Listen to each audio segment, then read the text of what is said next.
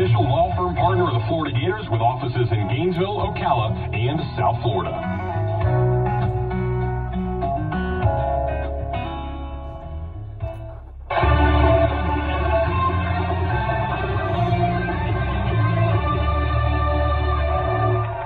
Here's it's time for the Cricket Wireless seventh inning stretch.